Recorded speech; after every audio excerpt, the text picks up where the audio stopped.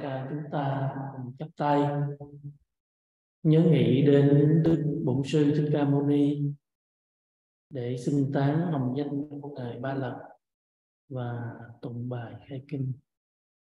Nam mô Bổn Sư thích ca Mâu Ni. Phật nam mô bổn sư thích ca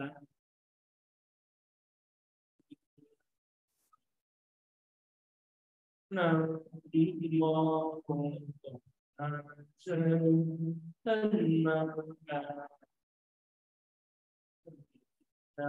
Phật Phật Pháp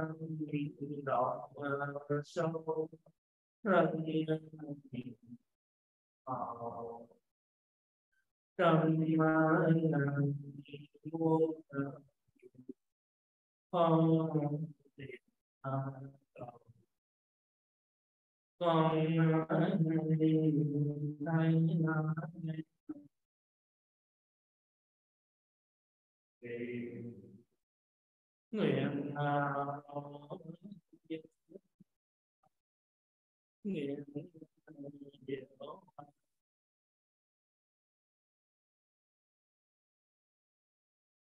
Dạ, Đà Phật. À, thay mặt cho ban tổ chức,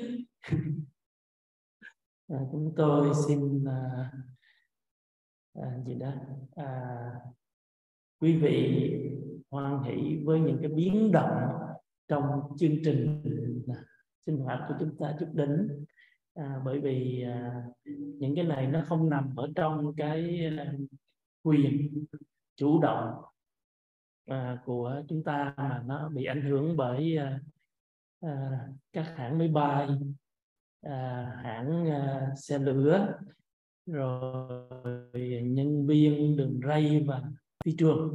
Thành ra họ đúng ra thì hòa thượng chiều thứ ba đã có mặt ở trong à, đập tràng chúng ta à, ngài đi à, máy bay qua hãng nhưng mà rốt cuộc thì nó bị đình công. Cho nên là hòa thượng phải bay về Hanover rồi sáng nay thì ngài định đi xe lửa qua nhưng mà rồi xe lửa nó cũng có vấn đề cho nên là phải đi uh, xe hơi. Đi uh, xe hơi thì xe hơi đến thì hòa thượng đến hồi 12 giờ hơn. À, cho nên cũng rất là mệt à, vì ngài từ bên Mỹ về này nọ rồi sáng thì chúng tôi ờ, cũng chủ quan. Chủ quan là đúng ra là ôn đã tới hôm qua cho nên là sáng nay thì ôn sẽ gặp quý vị. Nên là đã lấy ờ, giờ hẹn bên sứ quán để làm đi làm visa rồi. À, thì chiều nay chúng ta nghe giảng chúng tôi sẽ gặp và đạo tràng chúng ta trong thời gian lần cuối. Sáng mai thì ôn sẽ hòa thượng sẽ giảng cho quý vị nghe. Và chiều mai thì có thượng tọa hành định sẽ giảng cho quý vị nghe. Dạ. Và thứ sáu thì chắc là ôn mình thời giảng buổi sáng cho quý vị nữa. Dạ. Thì à, bởi vì sáng thứ sáu là chúng tôi à, 8 giờ sáng là lên đường đi à, uh, Oberhausen dạ vâng. Đó là cái phần uh, kỹ thuật xin thông báo về trước. Và bây giờ chúng ta nghe tiếp. Và hôm qua thì đã nghe về cái văn cái tư. À, văn và tư thì hôm nay nói một chút về cái tu. À, cái tu tu viên mãn. À, tu viên mãn là tu như thế nào? Mà tu như thế nào thì không viên mãn. Giống như là chúng ta thấy khi mà quý thầy niệm hương quý sư cô quý sư niệm hương thì đôi khi quý vị nghe là giới hương định hương tuệ hương. À, rồi gì nữa? Giải thoát. Rồi xong cái giải thoát tri kiến, hương. Đây là năm phần, gọi là ngũ phần hương. Năm phần hương. Năm phần hương này đều là cái hương toát ra từ sự tu tập hết. Tu tập giới, tu tập định, tu tập huệ, tu tập giải thoát và tu tập giải thoát tri kiến thì ở đây à, cái nào là à, tu à, hay là ai tu cái nào? Nếu chúng ta theo à, thanh văn thừa theo thanh văn thừa thì sẽ lấy cái giới là trọng điểm. À, thanh văn thừa thì tu giới là trọng điểm và lấy cái việc tu định làm phương tiện làm phương tiện. Tức là lấy cái giới làm cái căn bản rồi trên cái giới đó thì mới tu tu định. À, tu định rồi để từ định đó thì các ngài đi đến giải thoát đi đến giải thoát. Trong khi các vị đại thừa à, các vị đại thừa thì sẽ lấy cái huệ làm căn bản. À, lấy cái huệ làm căn bản và trên cái huệ đó các ngài mới tu định. À, mới tu định để cũng đi đến giải thoát. Và bên à, kim cang thừa thì lấy cái giải thoát tri kiến làm căn bản. Rồi trên cái giải thoát tri kiến đó các ngài tu định để rồi cũng đi đến cái giải thoát thì giải thoát là cái chung của tất cả các uh, vị hành giả Phật giáo nói riêng mà các uh, vị hành giả mà đi tìm chân lý trên cuộc đời này nói chung. Dĩ nhiên thì uh, mỗi một tông phái mỗi một uh, uh, sự truyền thừa thì định nghĩa cái giải thoát khác nhau giải thoát khác nhau giả sử bà la môn giáo thì họ nghĩ là khi cái tiểu ngã cái tiểu ngã à, tiếng phạn gọi là atma atma cái cái cái cái cái ngã của chúng ta đó. khi cái tiểu ngã này nó được hòa nhập vào trong cái đại ngã cái đại ngã tức là cái maha atma của phạm thiên của brahma tức là lúc bây giờ là giải thoát là giải thoát tinh thần của tiểu thừa. Tinh thần của tiểu thừa. Thì khi mà thấy rõ được bản chất của một hiện hữu tức là của tự hiện hữu là vô ngã thì vị này nhập vào niết bàn. Nhập vào niết bàn. Thì niết bàn này là giải thoát. À, là giải thoát. Theo đại thừa theo đại thừa. Thì vị hành giả thấy rõ cái tự ngã này à, là không có thật. Và cái tự ngã nơi khác cái này khác cái này hay nói trong tiếng hán là tha là không có thật luôn. Cho nên các ngài um, gọi là sao? Đi ở trong luân hồi. À, đi ở trong luân hồi chứ không phải là là bị luân hồi trói buộc nha mà đi ở trong luân hồi tức là chủ động đi ở trong luân hồi để làm tất cả các hành ba la mật.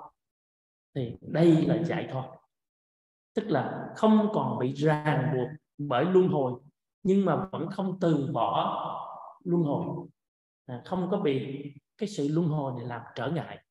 Trong khi a la hán thì vẫn thấy luân hồi là trở ngại. Yeah.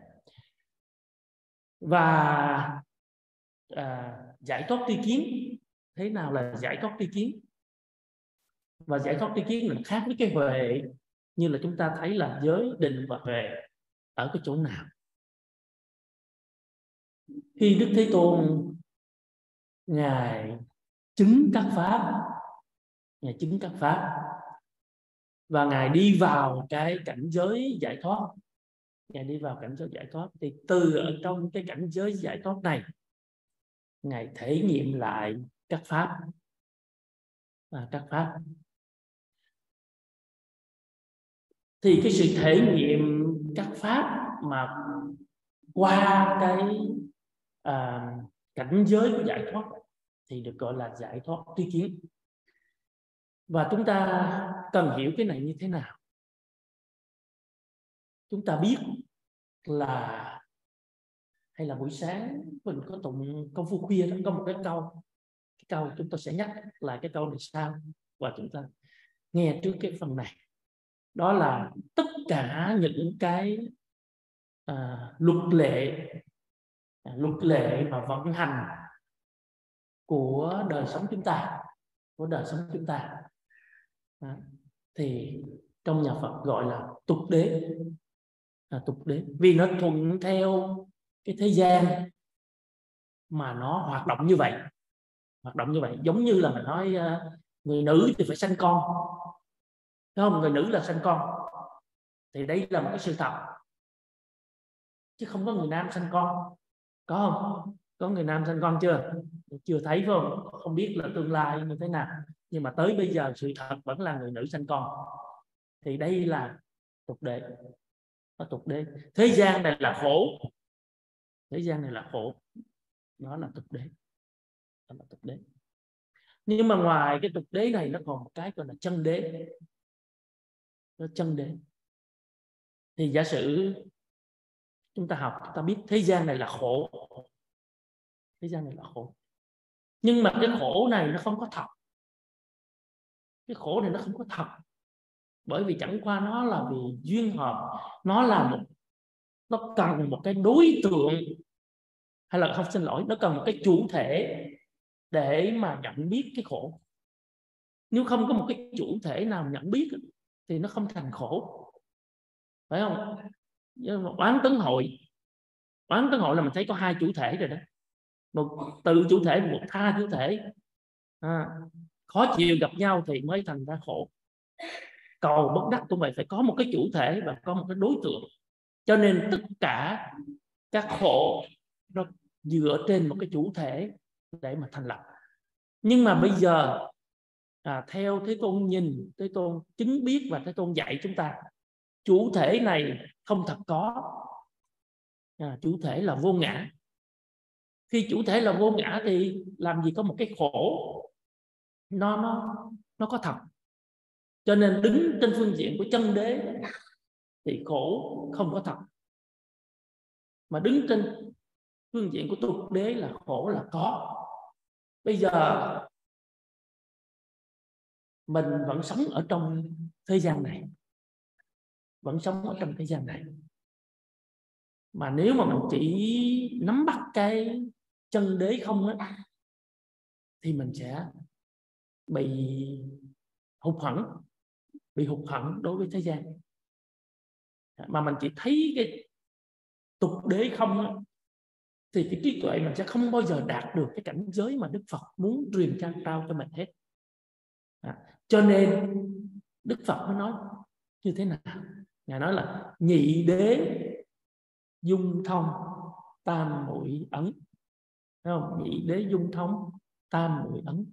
Tam muội tức là định định từ trong cái sự thể nghiệm của tục đế thể nghiệm của chân đế rồi chúng ta đi vào trong định để dung thông hai cái đế này lại và tạo nên một cái à, đóng dấu. đóng dấu vào trong cái tâm thức của mình. Thì cái đó chính là giải thoát cái kia thì các vị à, các vị tu theo kim cang thừa theo mật thừa đó mới lấy cái bản chất giải thoát của chư Phật là bản chất của cá thể. Tức là thấy mình tự thân của mỗi một người chúng ta à, là một vị bổn tôn quý vị tu pháp quán âm thì tự thân mình là quán âm, tu pháp di đà thì tự thân mình là di đà. Giống như tịnh độ thường nhắc là tự tánh di đà vậy đó. Nhưng mà đây không phải là tánh không nữa, mà là thể tánh và dung đều chung trên một người hành giả hết. Và chấp nhận được điều này. Khi hành giả chấp nhận được điều này, thì tất cả phiền não rơi rụng tất cả các ác nghiệp rơi rụng vì một vị Phật sẽ không bao giờ nói dối chẳng hạn à, đố kỵ chẳng hạn vân vân và vân vân. Còn mình nói tôi là Phật hay là tôi là Bồ Tát mà nói dối như cụi là chắc không phải rồi. À, mình phải rõ ràng. Thì à, đó là những cái cách cái hướng tu khác nhau. Và ở đây khi mà nói đến cái tu viên mãn tức là tu làm sao để chứng được cái chứng của như lai thì mới gọi là viên mãn. Còn mình cái chứng của mình không có, hay là nói là cái kinh nghiệm của mình chứ nói chứng thì nhiều khi quý vị nghe có vẻ không có dính tới mình không có dính tới bên mình. Nhưng mà tu làm sao để cho cái kinh nghiệm tu của mình cái sự thể nghiệm những cái điều mà mình đang thực hành, đang quán chiếu đó, nó hoàn toàn giống như sự thể nghiệm của như lai của đức phật.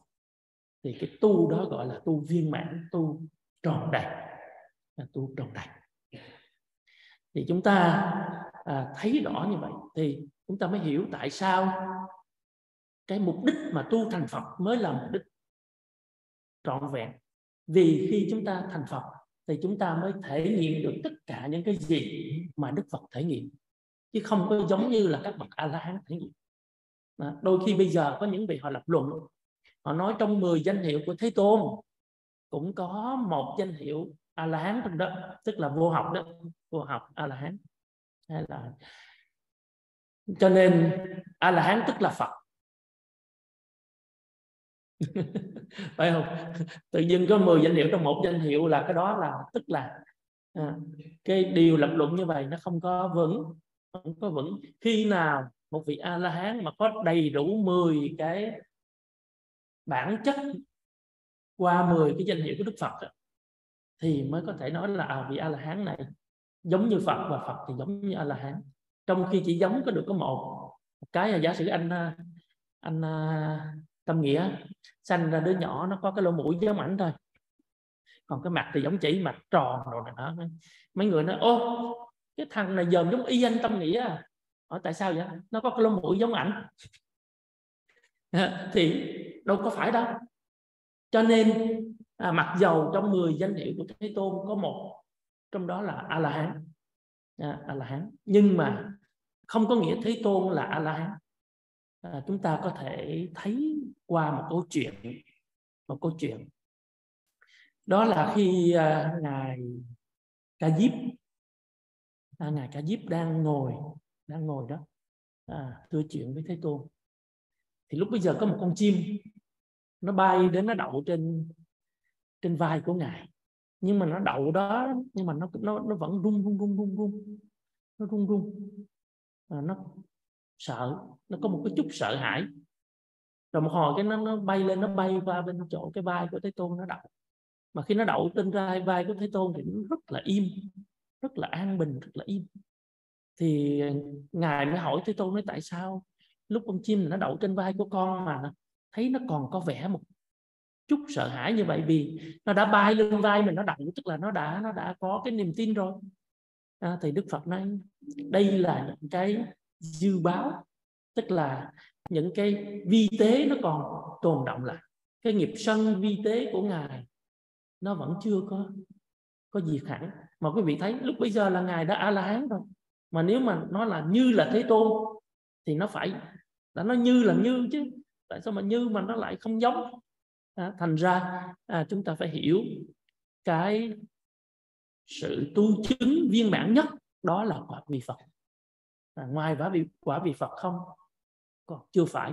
Dầu chúng ta đi trên con đường đại thừa hành bồ tát đạo đi chăng nữa chúng ta đi vào những cái địa à, sơ địa cho tới thập địa. Ừ. thì vẫn chưa phải là chưa phải là Phật. Bởi vì trên đó còn có dịu giác đẳng giác nữa. Đó, thì lúc bây giờ nó mới viên mãn hoàn toàn. Mặc dầu từ bát địa bồ tát trở đi à, tức là từ bất động địa trở đi thì vị hành giả không có còn bị rơi trở lại cái à, cái tiểu thừa hay là cái cái, cái duyên giác thừa nữa. Nhưng mà vẫn chưa có được viên mãn như đức phật tuy nhiên à, tuy nhiên, ở đây chúng tôi xin nhắc nhở một cái, đó là chúng ta rất khó nắm bắt được cái cảnh giới của chư phật và chư bồ tát. Khó nắm bắt ở, là bởi vì chúng ta chưa đến được cái cái cái cảnh giới đó. Khi nào chúng ta đến được thì chúng ta sẽ nắm bắt được, vì đây không phải là lý luận. Nếu mà nó là lý luận thì mình phải nắm bắt được. Vì nó dựa trên văn tự chữ nghĩa, lập luận. Nhưng mà nó không phải là lý luận mà nó thuộc về kinh nghiệm. Mà kinh nghiệm thì giàu có người truyền đạt cho quý vị nói thế này, thế nọ, thế kia. Thì nhiều lắm là quý vị gật đầu à thì ra là thế. Nhưng mà đến lúc tự thân chúng ta đi qua, trải nghiệm được điều đó, thì lúc bây giờ chúng ta mới hiểu thật sự chuyện gì đang xảy ra. Lấy ví dụ cho chúng ta dễ hiểu. Như đức quán thâm bồ tát. Đức quán thâm bồ tát của chúng ta chúng ta rất là quen thuộc với ngài. À, kêu mẹ kêu cha gì cũng được. À, nhưng mà bây giờ trong những cái lời nguyện của ngài quý vị thường tụng kinh à, diệu pháp liên hoa kinh đó có cái phẩm phổ môn phải không? Quý vị tụng phạm phổ môn. Thì trong đó có một cái điều ngài nói rằng nếu có chúng sanh nào đáng được dùng thân phật để độ, thì ngài sẽ hiện thân phật, mà vì người đó thuyết pháp.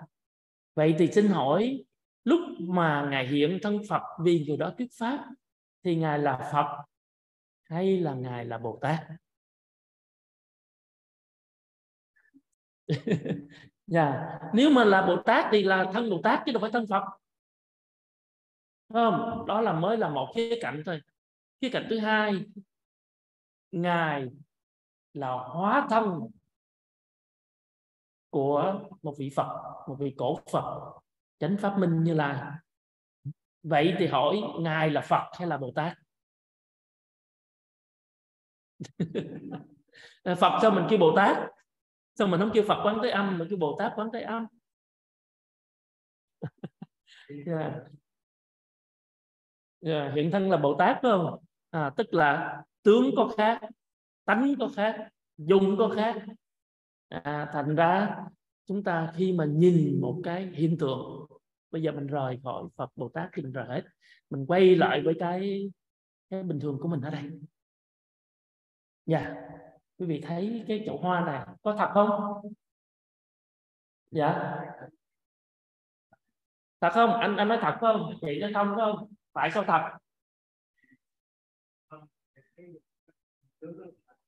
Ừ. dạ. Rồi chị nói không thật là tại sao không thật?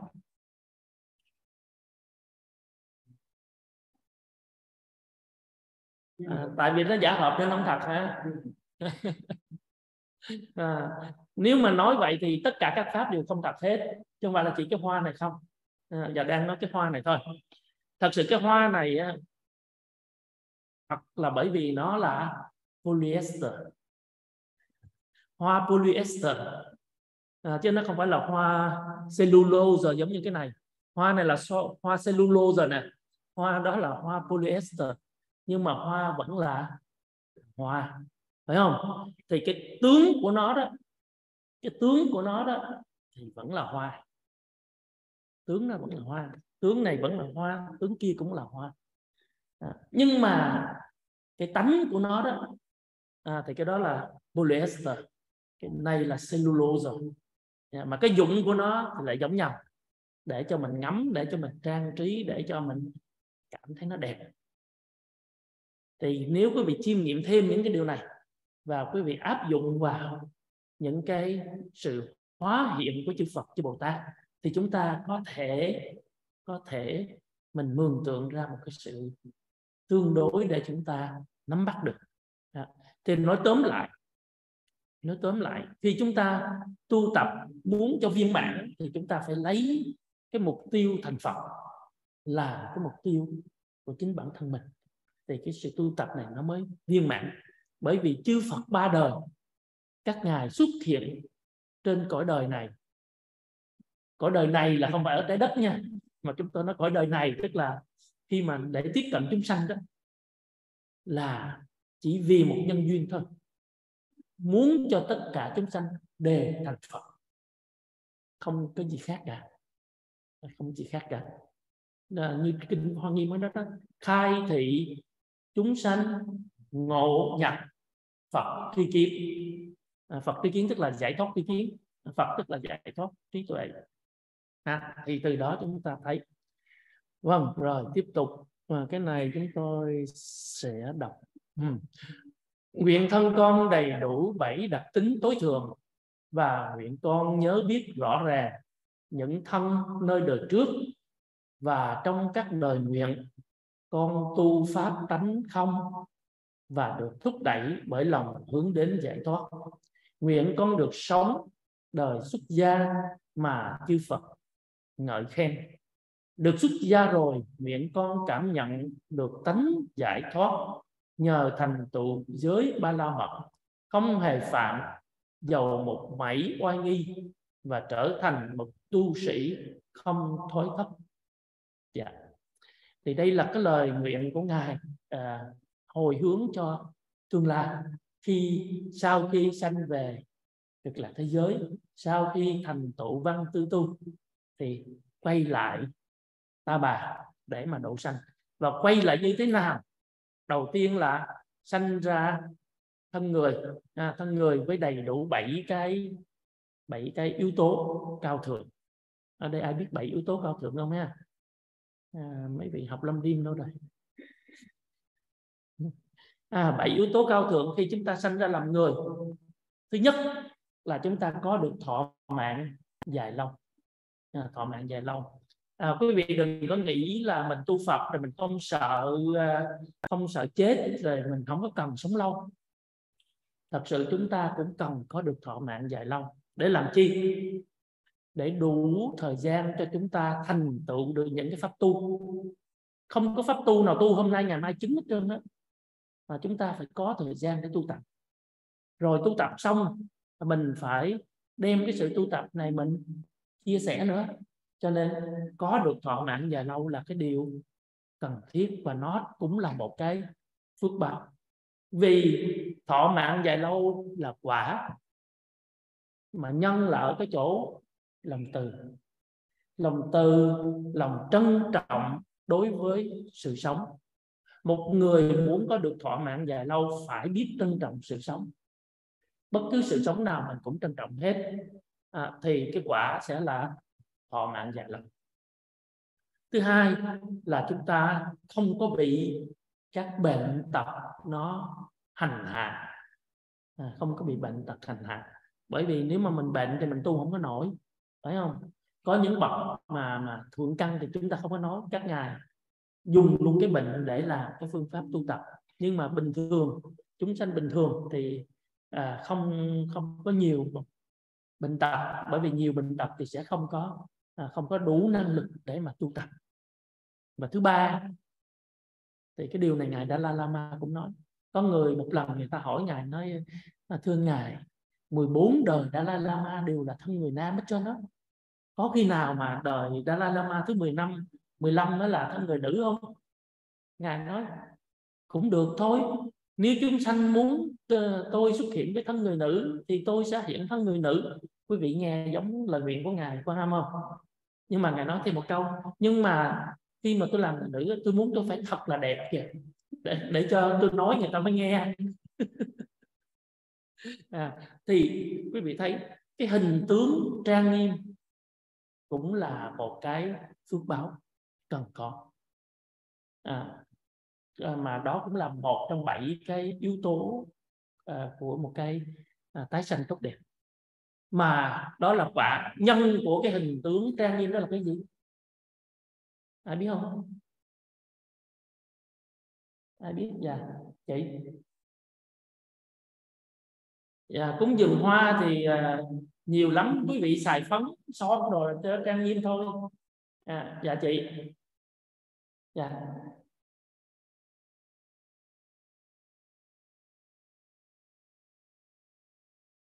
À, cũng không phải. Thật sự đó là tâm nhẫn. Nhẫn tức là nhân của một cái hình tướng trang nghiêm. Quý vị thấy đó thông thường thì sao? Mình tức giận mình khó chịu thì cái mặt mình nó nhăn nhúm lại giống như cái hoa cúc vậy đó. Nhưng mà khi mình nhẫn được đó, thì cái tâm mình nó an nhàn à, cái gương mặt mình nó nó tỏa sáng ra. Nhẫn đây là làm không phải là mình chịu đựng nha nó khác. À, chịu đựng chưa phải là nhẫn. Mà chữ nhẫn tức là tiếng đức nó nó có một cái dịch rất là chuẩn. Đức gọi là Gleichmut Gleichmut tức là giữ một cái tâm trạng hoàn toàn bình lặng. Đó là nhẫn và khi tâm trạng của mình nó hoàn toàn bình lặng thì cái thể hiện ra cái tướng của mình à, nó nhẹ nhàng nó không có nó không có bị chi phối bởi cái cái emotion của mình cái cảm xúc của mình. À, thành ra đó là cái nhân để được thân tướng trang nghiêm. Quý vị nào muốn đẹp đời sau thì đời này phải giữ cái tâm trạng mình nó nó bình thản nó bình lặng à, tức là giữ cái nhẫn trong cái tâm thức của mình. Và thứ tư là phải có giàu giàu có. Giàu có phải không? Mình mà muốn bố thí mà không có không có tiền cũng rất là khó. À, dĩ nhiên không có nghĩa là người không có tiền không thể bố thí vẫn có thể làm được nhưng mà khó khó hơn là khi chúng ta có tiền có bạc mình muốn cứu trợ muốn giúp đỡ muốn làm những cái vật sự gì đó nó cũng dễ dàng hơn rất nhiều. Và thứ năm là sanh vào một cái gia tộc có à, uy tín. Gia tộc có uy tín. Giả sử như đức thế tôn chúng ta thì sanh vô nhà vương tộc à, dòng à, thích ca lúc bây giờ chẳng hạn. Đó là à, cái điểm mà để à, thấy được cái cái tái sanh nó, nó, nó tốt đẹp. Và thứ năm à, thứ sáu chứ thứ sáu là à, có được cái sự à, may mắn ở trong cuộc đời. May mắn ở trong cuộc đời tức là thuận duyên với tất cả những cái công việc công việc. Giả sử như bây giờ quý vị muốn đi chùa nó nghe nói chùa linh thú tổ chức phật thất. Muốn đi qua ông chồng cũng cho mấy đứa con nó cà nheo nó đem một đống cháo là để nó gửi. Dạ, thì mình thấy là chướng duyên rồi, không có thuận duyên. Cho nên, thuận duyên là một cái điều, một cái yếu tố cần thiết cho một cái đời sống mà chúng ta có thể chủ động được. Và cuối cùng là chúng ta sanh ra với cái trí thông minh. Thông minh hiểu biết. Chứ giờ mình muốn học Phật pháp, mình học hoài, có một bài kệ, bốn câu mà học hoài không thuộc chẳng hạn à, thì làm sao cho nên à, cũng cần phải có trí thông minh à, quý vị thấy đây là bảy yếu tố của một tái sanh tốt đẹp khi làm người khi làm người dạ yeah. ừ. à, và ngài cũng nguyện là à, chẳng những như vậy mà còn biết được cái đời trước của mình biết được đời trước của mình à, quý vị nào ai muốn biết đời trước của mình không? Không muốn hả? Sao kỳ vậy? Không có thần thông nên không muốn. À, nhưng mà vẫn tu được. Thật sự chúng ta vẫn có thể tu được thần thông để biết được cái cái đời trước của mình hay là hai ba đời trước của mình. Nhưng mà chư Phật thì biết được trăm ngàn đời.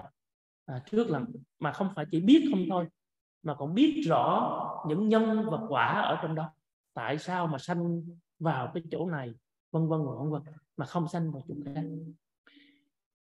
À, thì đây cũng là một cái quả một cái quả do định sanh ra. À, do định sanh ra. Chúng ta thường tu định thì cái tâm chúng ta sẽ lắng đọng xuống à, thần thông sẽ sanh. À, tất cả các thần thông là đều là quả của định hết. Là quả của định hết quý vị mà à, khi mà vào định rồi mà muốn có thần thông gì đó là sẽ có thôi. À, không không muốn đôi khi nó cũng có nữa. À, có có vị ngồi ngồi thiền rồi vô định sâu quá rồi tự động cái cái thân nó nó, nó lơ lửng lơ lửng ở trong không khí. À, ai đánh cái chuông cái bon nó giật mình mở mắt ra té xích bụp xuống. Yeah, bởi vì lúc bây giờ rời rời định rồi nó không có kịp từ từ hạ xuống nó rớt cái bụp xuống lên thì đó là điều tự nhiên ha.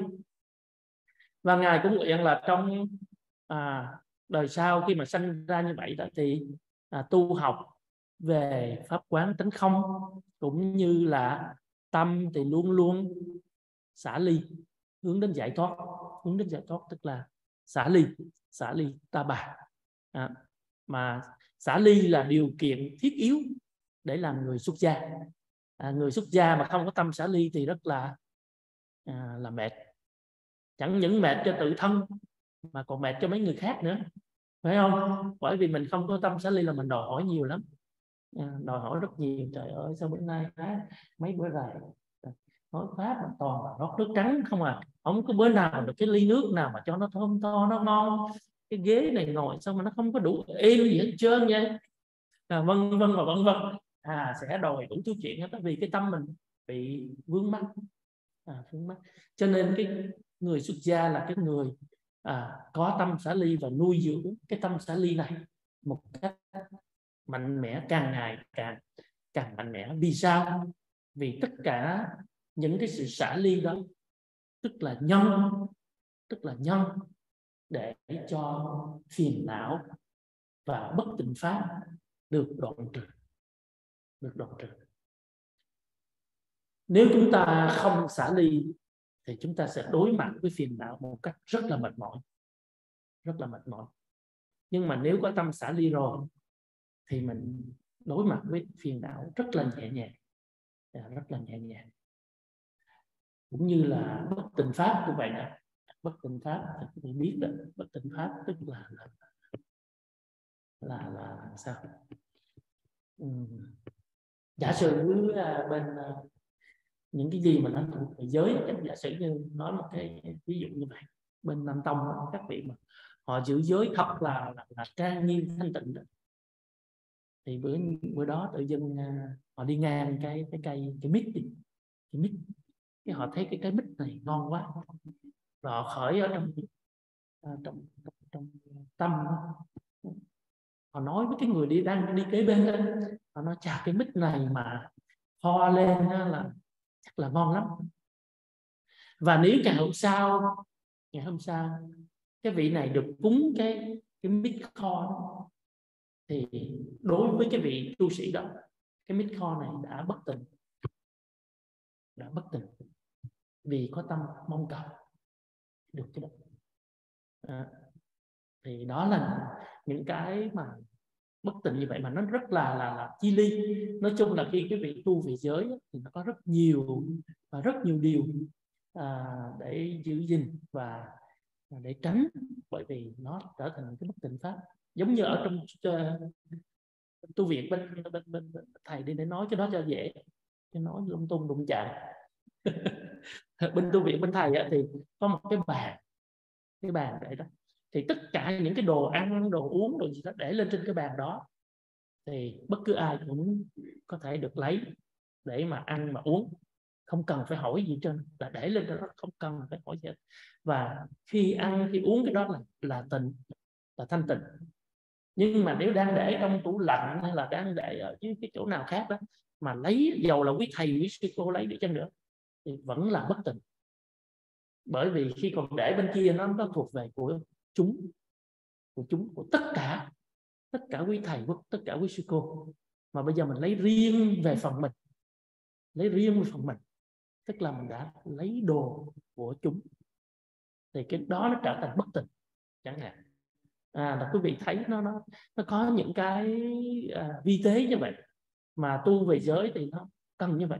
Ở đây nói như vậy là bởi vì trong đây ngài có nói đến vấn đề khi đã được xuất gia rồi thì nguyện sống được cái đời sống giải thoát và tu giới được trọn vẹn tức là giới ba la mật một cách trọn vẹn như vậy.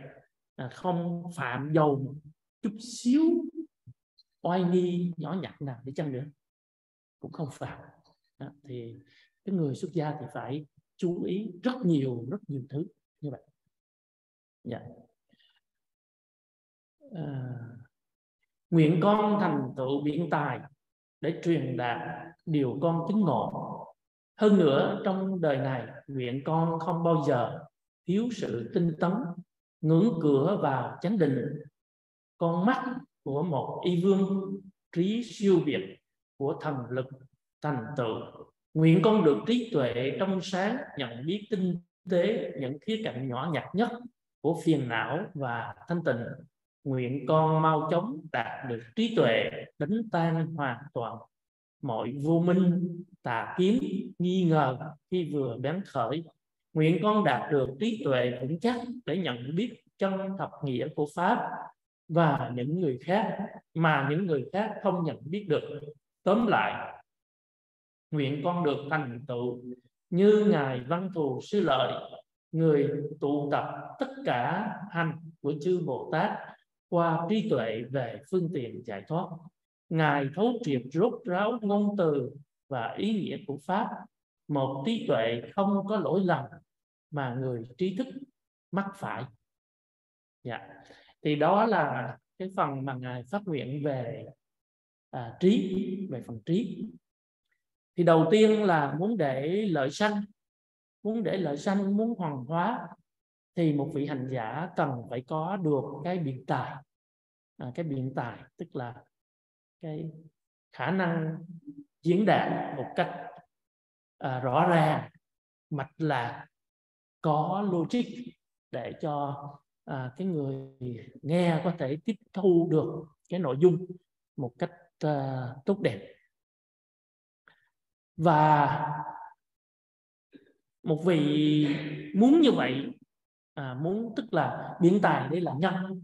À, là quả. Cái biện tài là quả. Mà muốn đạt được cái biện tài như vậy thì cái vị hành giả đó phải tinh tấn. À, phải tinh tấn.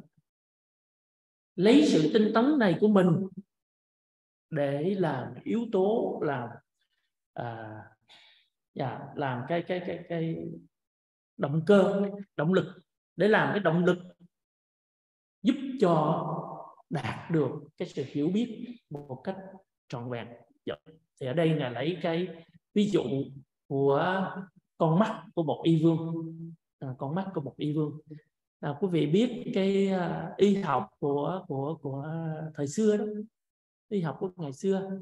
Thì khi mà người ta um, gặp bệnh nhân gặp bệnh nhân thì có hỏi hỏi sờ nhìn và nghe. Bốn cái phương pháp để chẩn bệnh. À, bốn phương pháp để chẩn bệnh. À, sờ tức là bắt mạch. Bắt mạch. Hỏi tức là hỏi bệnh hỏi bị gì này nọ vân vân. Nghe là nghe hơi thở nghe cái giọng nói. À, bởi vì nếu khi chúng ta có bệnh giả sử mình mệt đi mệt thì có thể nói mà mẻ được rồi nó khảo khàn chẳng hạn. À, thì đó là khi mà bác sĩ họ nghe như vậy họ biết à cái người này đang gặp vấn đề gì đề gì? Hoặc là họ nghe cái tiếng đi. Một người mà bước vô phòng mạch mà cứ đi một chân chậm à, chân chân nặng chân nhẹ thì là người ta biết à chân người này có vấn đề. Tại vì hai cái bước chân nó không có đều chẳng hạn. Thì một vị bác sĩ giỏi thì họ sẽ nghe được cái đó. Là thấy bằng mắt thì sẽ thấy à mặt à, vàng nè à, hay là mặt à, trắng nè hay mặt đỏ này, hay mặt đen này, hay mặt xanh nè vân vân. Mỗi cái như vậy đều có à, là bệnh tố hết. À, rồi đôi khi à, mặt thì hồng hào nhưng mà trán nó đen chẳng hạn hay là cằm nó đen à, hay là cái cái cái cái, cái môi nó bị đen thì cũng là bệnh. Nên một vị bác sĩ họ sẽ biết được những điều này rồi người ta bắt mạch. Bắt mạch là cái gọi là cuối cùng thôi để khẳng định lại cái cái mà nghe sờ và à, nghe thấy và à, à, nghe thấy và hỏi thôi. Ừ, nghe thấy và hỏi thôi. Yeah.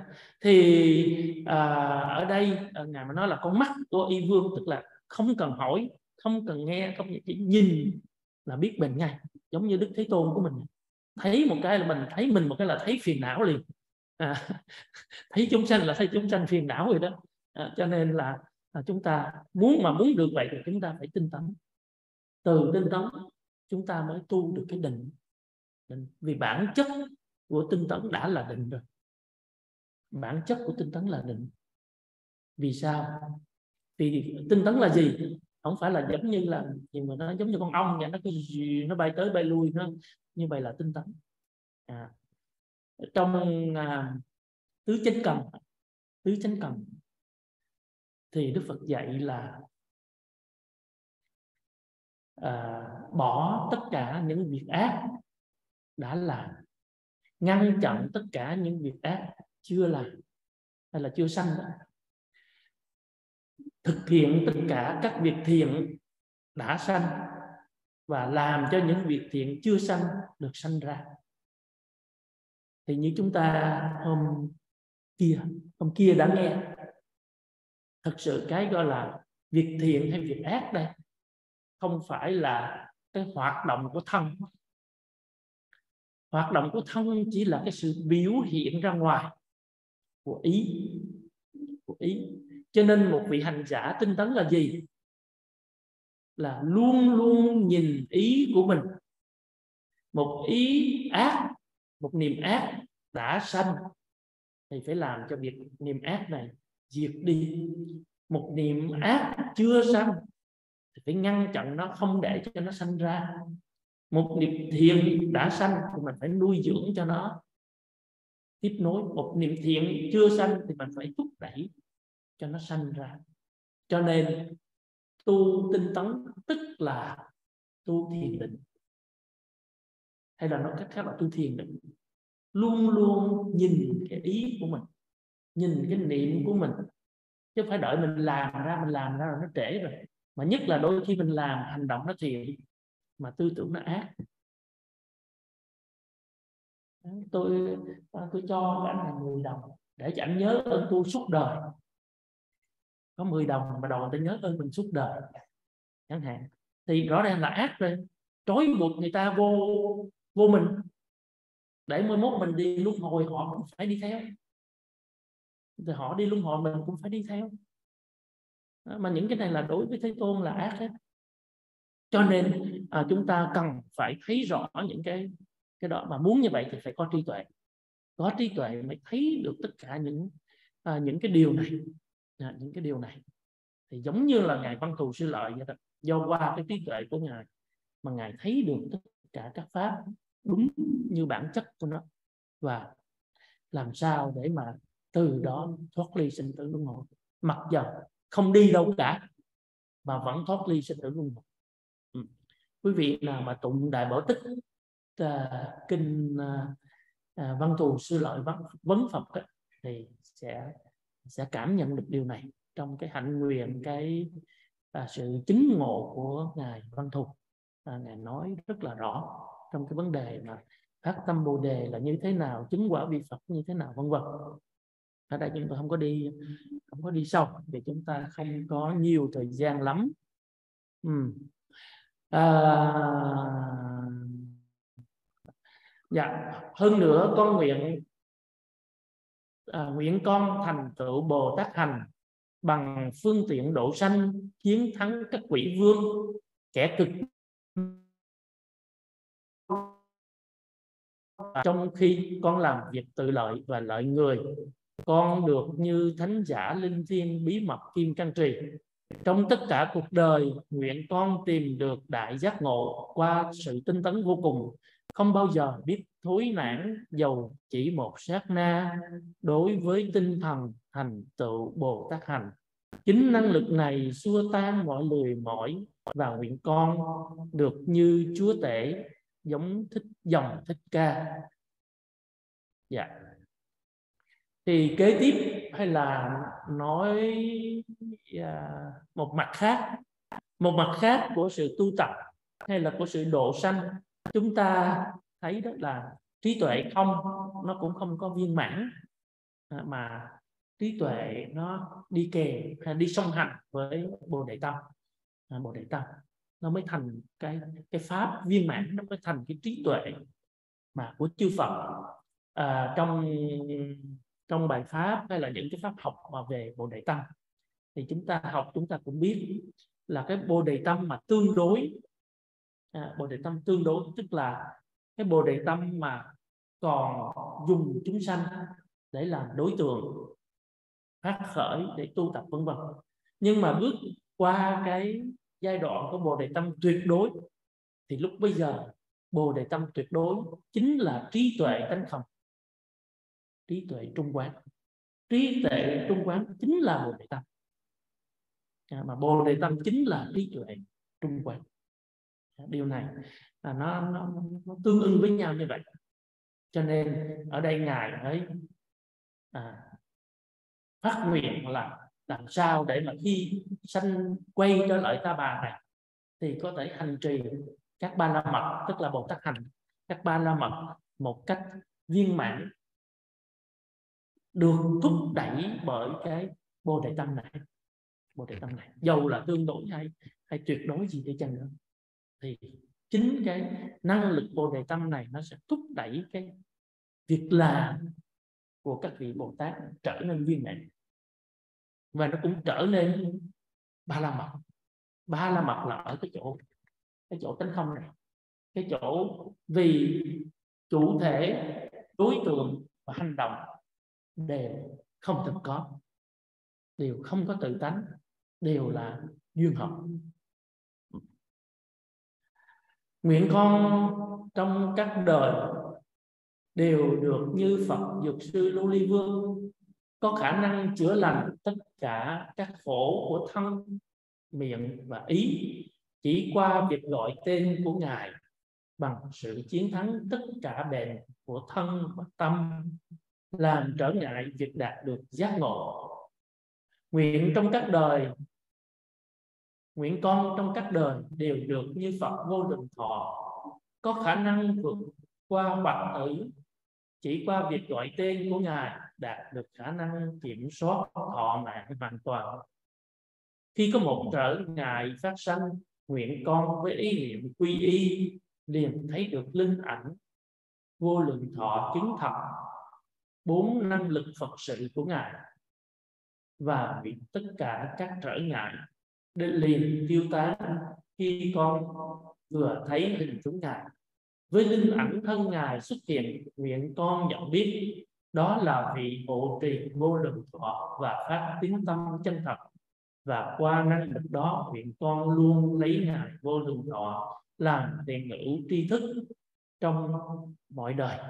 Dạ, trong mọi đời nè thì đây là cái sự phát nguyện thân trọng à, thiền hữu tri thức và được năng lực của các vị phật. Thì ở đây chúng ta thấy cái à, cái lời nguyện này của ngài thì cũng tương tự giống như cái lời nguyện và các cái hành của ngài huệ viễn của ngài huệ viễn. À, lúc bây giờ à, lúc bây giờ khi mà ngài huệ viễn à, nhận được và thọ trì kinh vô lượng thọ. Ừ, kinh vô lượng thọ.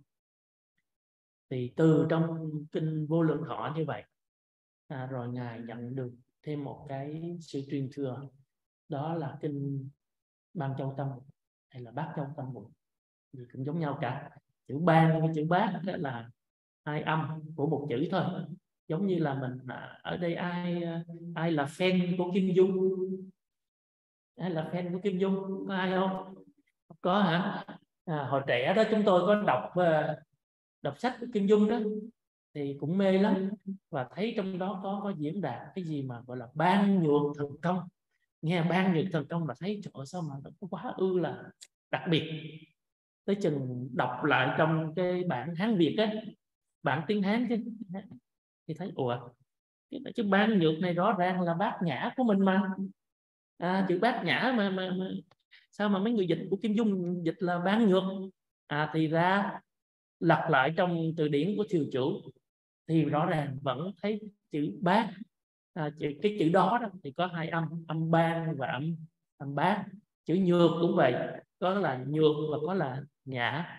À, bởi vì ban nhược là âm của âm mà bát nhã là âm của tiếng phạn prajna à, cho nên à, cho nên à, thật sự thì à, cái pháp à, cái pháp đôi khi á, mình thấy nó à, rất là đặc biệt à, nó được chuyển tải nó được chuyển tải như vậy.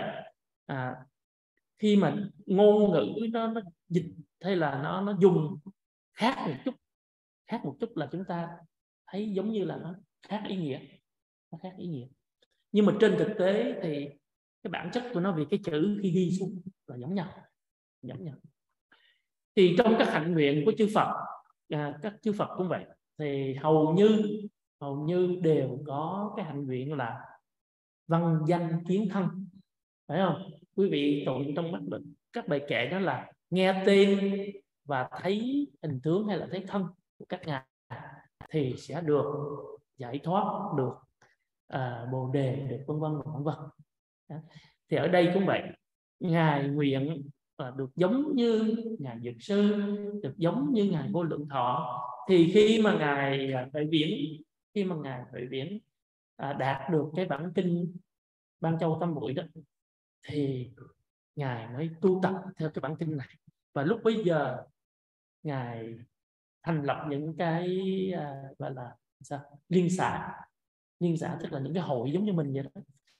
À, chi hội uh, Berlin chi hội uh, Hanover chi hội Bremen rồi à, và mỗi một liên xã đó thì à, tu tập ban cho tâm tức là trong vòng 3 tháng. 3 tháng không không ngồi không nằm mà chỉ đi và đứng à, từ khi ờ, dĩ nhiên là từ khi ăn và khi ờ, khi làm cái việc cần thiết nhất đó. sau khi ăn đó, thì ngồi thôi còn ngoài ra thì không có ngồi.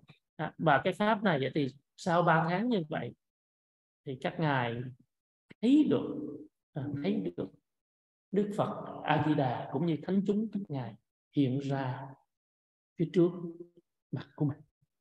À, phía trước mình cho nên cái kinh này cũng còn gọi là kinh hiện đời à, diện kiến chư Phật. À, thấy được Đức Phật. À, mà ngài tu cái đó rất nhiều lần như vậy. Thì ở trong đây à, ngài vô luân à, ngài không có ba cũng phát cái nguyện nhận được thấy được cái thân của Đức Phật xuất hiện như vậy thấy được thân của ngài vô lượng thọ xuất hiện như vậy.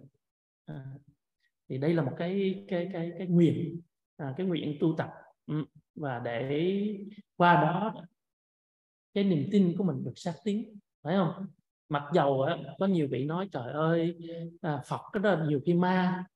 À, thấy Phật thấy ma nhưng mà chúng tôi cũng rất thích thấy Phật à, à dầu là ma giả đi chăng nữa. Quý vị thấy là trong các vị tổ đó có một vị đó là ngài gì? Ubakuda biết không? Biết ngài Ubakuda không? À, Ubakuda à, tức là vị tổ à, Trung Ấn Độ. Thì lúc bây giờ ngài độ được Ma Ba Tùng. Ngài độ được Ma Ba Tùng trở thành đệ tử của ngài. Thì ngài mới nói với Ma Ba Tùng đó là này lúc mà Thế Tôn còn tại thế đó là ông đã từng thấy thấy được Thế Tôn rồi thấy được tăng đoàn của Thế Tôn rồi. Thôi thôi bây giờ ông hiện cái hình ảnh tăng đoàn của Thế Tôn với Thế Tôn đi cho tôi thấy với à, cho tôi thấy với đó mà rõ ràng là tổ nha tức là một vị chứng đắc rồi. Và rõ ràng là biết đây là ma ba tùng mà dặn ma ba tùng nó làm việc đó. Rồi mà cái ma ba tùng cũng dặn với ngài nói là bạch à, bạch ngài ngài nhớ nha nhớ kỹ nha. Một hồi đó là không có được đánh lễ nha không có được đánh lễ chưa chưa? À, rồi thế là ngài nói à, ờ, được cho ta biết dư thừa mà nó cái này do ma hiện ra mà.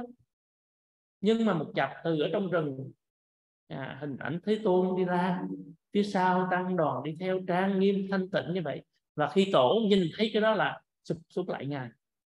À, và lúc đó thì ma cũng biến mất cái hình ảnh đó vì sợ mất phước à, sợ mất phước cho nên biến mất.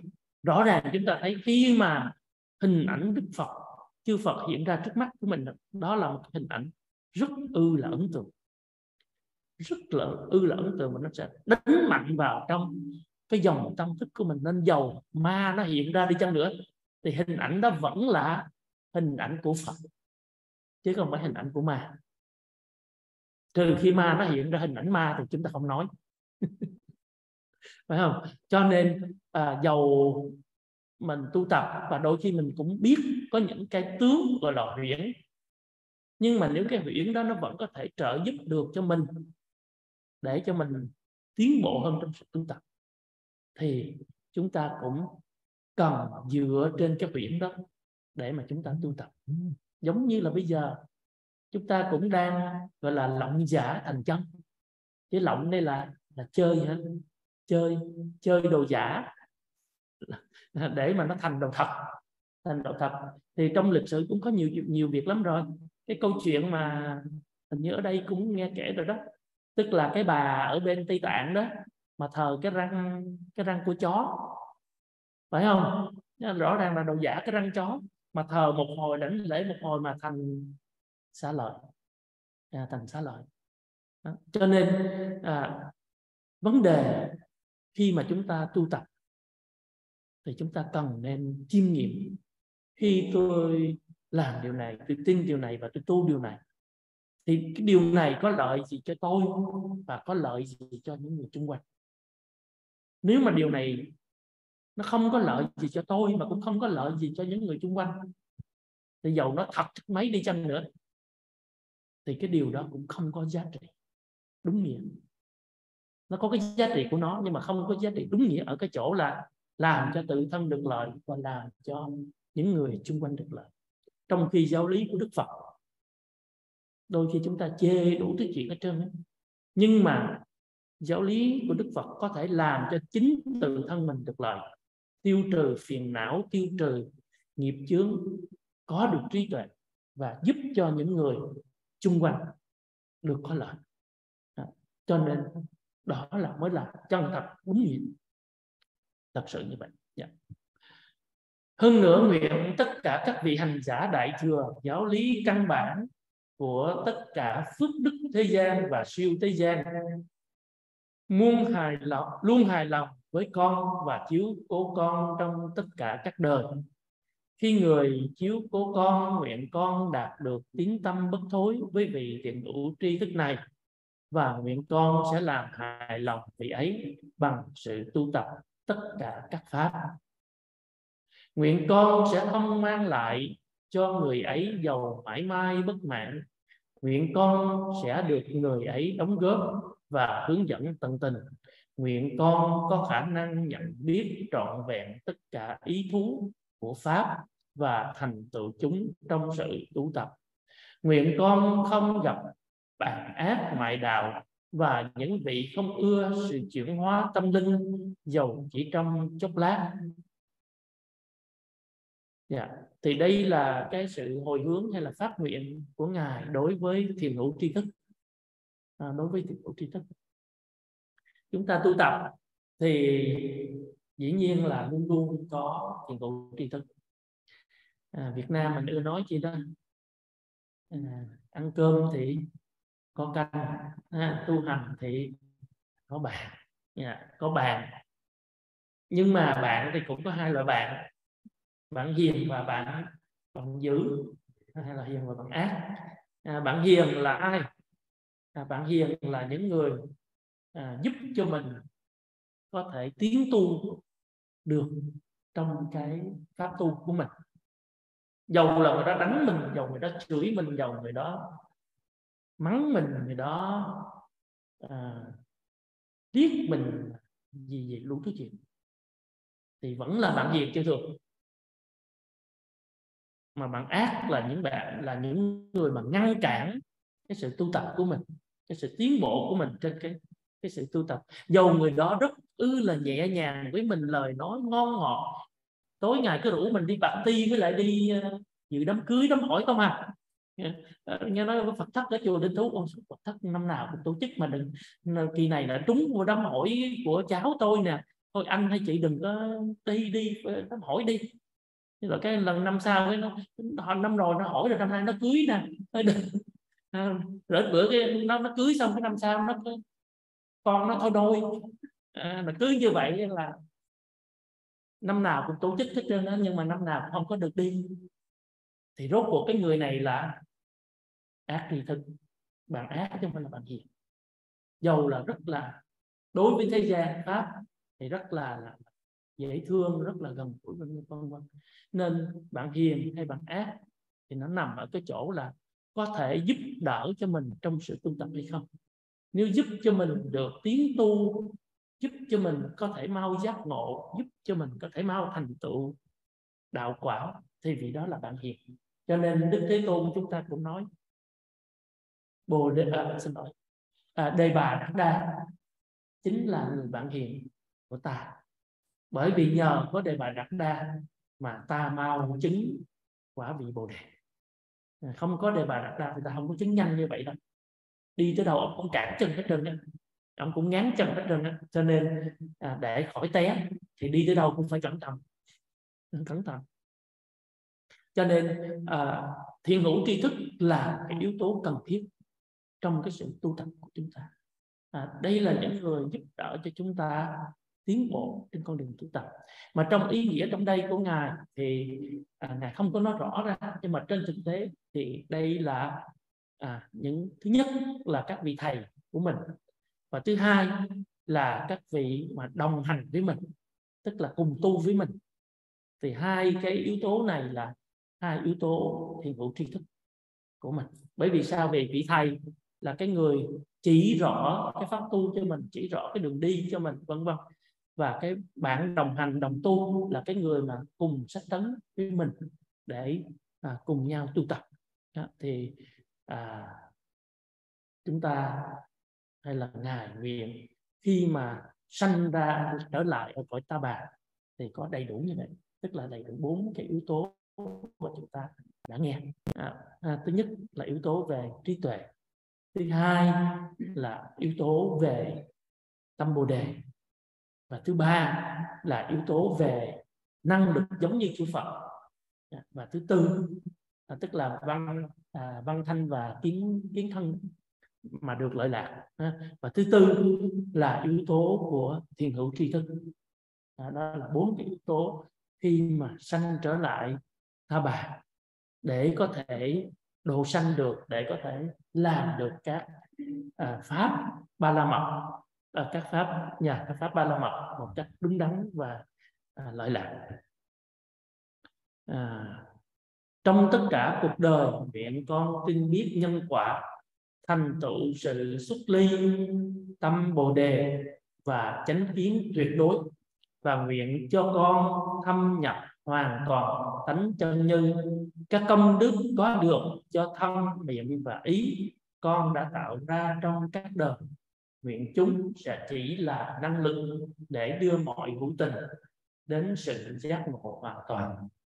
Và đó là hai câu hồi hướng hai câu hồi hướng của của cái sự phát nguyện. Thì à, hồi hướng cái gì? Thứ nhất là tin và biết về nhân quả. À, tin là tin là mới có có nghe. Mới có nghe về mới có đọc về. Biết tức là tự thân mình chiêm nghiệm rõ ràng thấy rõ cái nhân quả nó đang hoạt động đang hoạt động như vậy. Thứ hai là thành tựu sự xuất ly. Thành tựu sự xuất ly tức là tâm không có vướng mắc. Nếu mà mình nhìn theo à, thanh văn thừa theo giới thì à, thành tựu cái việc xuất gia à mà nếu mình nhìn theo đại thừa thì không có vướng mắc bởi hình tướng bởi vân vân. À, dầu là xuất gia hay là tại gia gì cũng đang xuất ly đang buông bỏ ta bà và hướng đến giải thoát. Tâm bồ đề à, có tâm bồ đề. Và chánh kiến tuyệt đối. Chánh kiến tuyệt đối tại vì nó có hai loại chánh kiến như hồi nãy quý vị đã nghe. À, hay là nói à, tức là tục đế và chân đế. Trong đại thừa thì thường nói là ngã không và pháp không. À, thì nếu chúng ta chỉ thấy ngã không thì chúng ta chỉ mới có chánh kiến ở một một đoạn đầu. Một cái đoạn mà có thể giúp chúng ta bước vào quả vị a la hán chứng được niết bàn. À, và muốn bước thêm nữa thì chúng ta phải chứng được hay là có kiến giải đúng đắn về pháp không? Ừ, về cái không của tha của cái tha. Thì lúc bây giờ thì hành giả mới có thể đạt được à, cái sự phát tâm dũng mạnh và đi trên con đường bồ tát đạo à, và thành tựu quả vị phật. Nguyện con thâm nhập hoàn toàn tánh chân như. Tánh chân như tức là tánh phật tánh à, chân thật à các công đức có được do thân miệng và ý con đã tạo ra trong các đời. Nguyện chúng chỉ là à, chỉ là năng lực để đưa mọi hữu tình đến sự giác ngộ giải thoát. Nên tất cả những công đức mà mình tạo ra đó không hồi hướng cho bất cứ vấn đề gì ngoài ra cái việc biến nó trở thành năng lực để mà đưa tất cả mọi hữu tình đến bờ giải thoát thì sự hồi hướng này mới gọi là sự hồi hướng đúng đắn và viên mãn. Chứ mình là đôi khi mình thế gian hay là mình còn thế tục thì à, hồi hướng cầu siêu cầu an cầu à, tài cầu lộc ờ, cầu gì nữa à, cầu tự nữa ha. À, đôi khi cầu tự nữa. À, cầu tự lâu quá hai vợ chồng con à, lấy nhau cũng tám chín năm rồi không có con gì hết trơn à, à mời thầy à, À, cầu an dùm. À, à, à cầu sao cho có đứa con? Nó thôi lại cầu ngài quan âm đi. Nhìn nhìn ngũ âm nói ủa sao ngày quan âm này không có bồng con sao ngày đưa cho con? Thế là mấy thầy phải sắm sắm thêm cái tượng quan âm tống tử. À, quan âm bồng đứa con trên tay để đưa. À, thì tất cả những cái này đều là những cái pháp của thế tục chứ không phải là cái pháp thật của đạo Phật. À, pháp thật của đạo Phật là dùng tất cả năng lực hướng đến giải thoát và giác ngộ. Không còn cái gì khác ngoài cái này cả. Giống như là chúng ta tu trình độ của mình. Thật sự tu tịnh độ đó là cái tu hồi hướng về giải thoát và giác ngộ đó. bởi vì lên tới cực lạc thế giới, mặc dầu nói là, cõi đó là cực lạc, tức là vui hết hết sảy luôn đó, là vui hết sảy luôn đó. Nhưng mà tại sao gọi là vui hết sảy? Nó chẳng vui gì hết trơn á nó không có cái gì để gọi là vui hết nên nó mới vui hết sảy. Bởi vì nó không có cái gì đã buồn. Không? ở thế gian chúng ta đó, nó có cái buồn để mà nó đối lên với cái vui. Nhưng mà trên cõi cực lạc nó không có một cái buồn nào để nó đối lại cái vui. Mà nó cũng không có cái vui mà mình thấy như là bây giờ ở đây hi ha hi hửng cười toe toét như vậy. Bởi vì mình lên cho nó mình ngày mình nhìn cái các ngài cũng nó mỉm mỉm mỉm mỉm vậy thôi. Ngồi ai cũng ngồi thiền định hết. À, chiêm nghiệm pháp hết. Rồi ờ, có cái gì đâu đâu có mở bạc ti không có mở bạc ti không có mở ly rồi ờ, đủ thứ chuyện. Không có.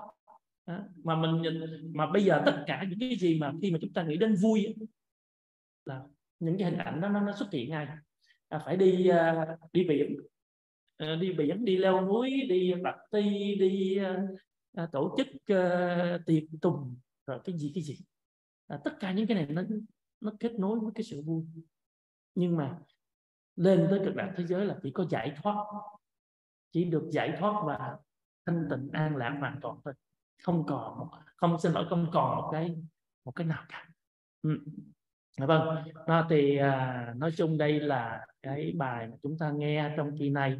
À, quý vị nghe như vậy à, thì chúng ta thấy à, rõ ràng là à, khi dầu là nó thuộc về tông phái nào truyền thống nào dầu hiến dầu mật thì à, cũng đều lấy cái tín tâm là cái căn bản để tu tập.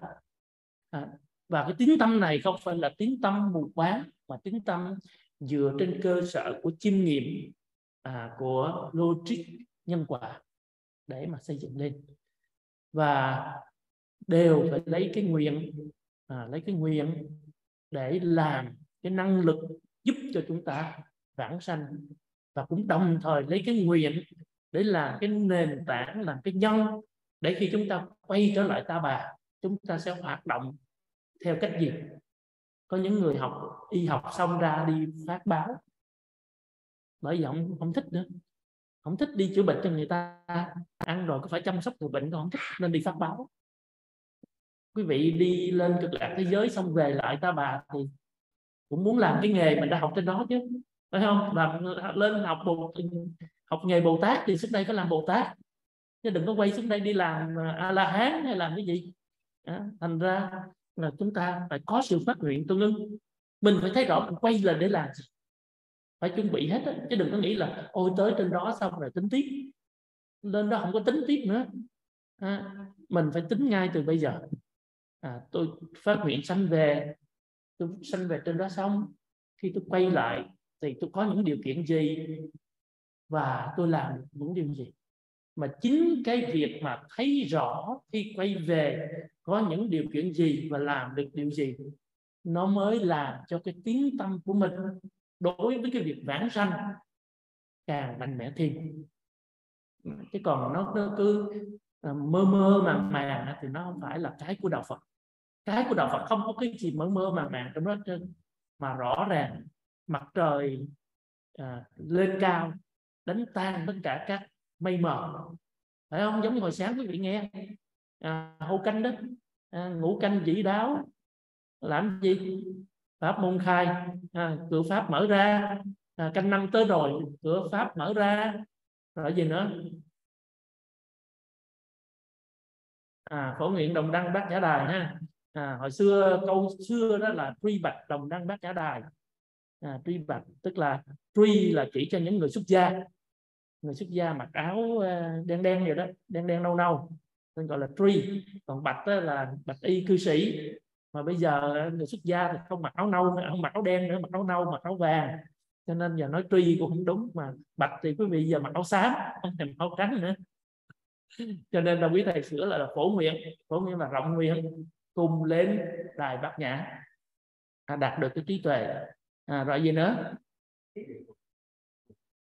À, liễu triệt tam thừa dung nhị đế là hiểu một cách rốt ráo hiểu một cách rốt ráo ba thừa. Ba thừa thanh văn thừa duyên giác thừa và bồ tát thừa. Dung là chứa đựng à, chứa đựng hai hai đế. À, ba sĩ đế và à, tục đế và chân đế. Ha. tục đế và chân đế. Rồi câu cuối cùng. À, câu này mới là câu hồi nãy nói. Cao huyền. Cao huyền tức là treo ở trên trên cao. À, cái cái gì được treo trên cao? Mặt trời trí tuệ. À, mặt trời trí tuệ. Tình văn ma tức là xua tan cái mây buổi sáng. À, xua tan tất cả các mây buổi sáng mây vô minh này nè. À, thì đây là cái chúng ta ánh sáng trí tuệ của đạo Phật là như vậy. Không có một chút sương mù nào chứ mình làm thơ các nhà thơ nhà văn thì thấy uh, lãng cái gì đó lãng vãng uh, một chút sương. Ở đây sương khối mờ nhân ảnh uh, thì thấy nó lãng mạn.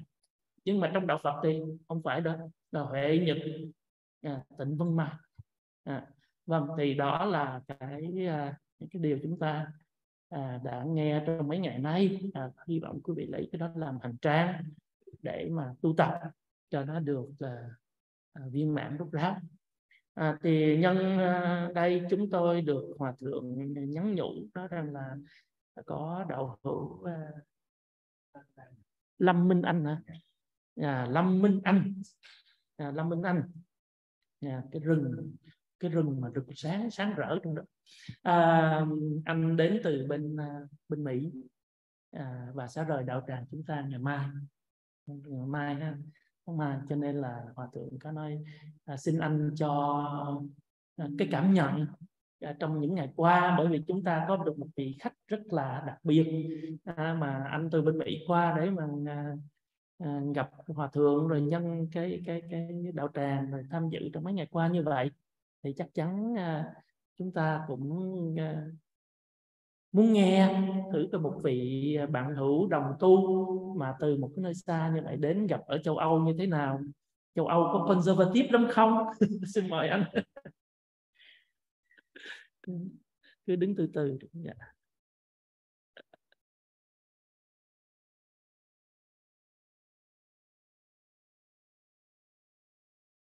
kính bạch thầy. Kính bạch quý ni. Kính bạch uh, quý đạo cho tặng về đạo hữu đi trường đại con là từ ở bên mỹ qua lần đầu tiên. Lần đầu tiên đến châu âu và lần đầu tiên đến trường thi. Con bất chợt vào đây ghé. Con thấy ghi cái danh là tu niệm. Tụng niệm. Phân tu tịnh độ. Con rất mừng đây là cái nhân viên của một không ngờ. Thầy đến dẫn bí đạo của đây con rất mừng và hai ngày nay được nghe giảng pháp quý thầy. Giảng con có học được rất nhiều điều. Con thấy trong cái bài tụng niệm, con đây thầy có nói về chuyện niệm, thầy nói về nhớ và nghĩ và thầy có nói về tịnh độ, và thầy có nói về quân tu. Chứ mà thầy chỉ nói tu, thầy không có nói hôn thầy nói niệm, nhưng cũng không có nói tụng con mạng phép cùng mượn lời của anh phù vân là anh có một bài thơ trong xuân vi mão này. Anh ấy con đi tìm chút nhân duyên. Con thì thật sự là cũng không biết nhân duyên thì ở đây thật là nhân duyên. Cho rồi. Một niệm phật truyền miên sắc không. Truyền đạt sắc không. Trên miệng sắc không. Sắc không thì ở đây quý thần nói chừng con thì còn già bởi vì ba cái khỏi vô giới tăng sắc giới dục giới vô giới sắc không lấy con con nguyện sanh tây phương tịnh độ trung cửu hoang tâm liệt hoa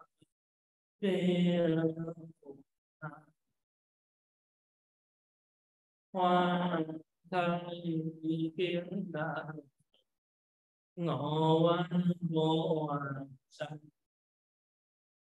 Bần hồi hộ tạng. Về bà ừ. Dạ, yeah,